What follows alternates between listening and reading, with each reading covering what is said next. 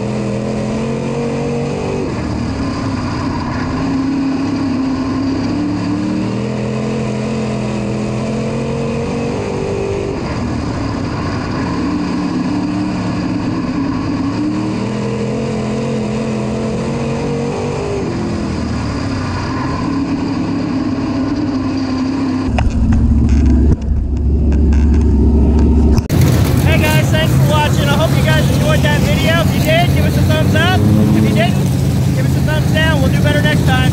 Thanks for watching.